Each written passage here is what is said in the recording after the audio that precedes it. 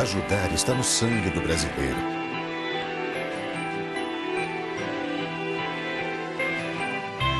Cada vez que você doa sangue, pode salvar a vida de até quatro pessoas.